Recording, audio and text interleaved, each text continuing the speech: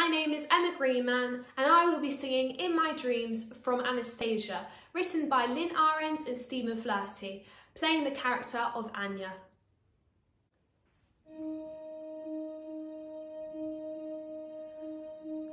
They said I was found by the side of a road. There were tracks all around, it had recently snowed. In the darkness and cold,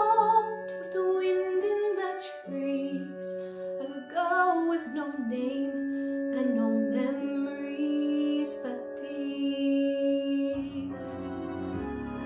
Traveling the back road, sleeping in the wood, taking what I needed, working when I could, keeping up my courage,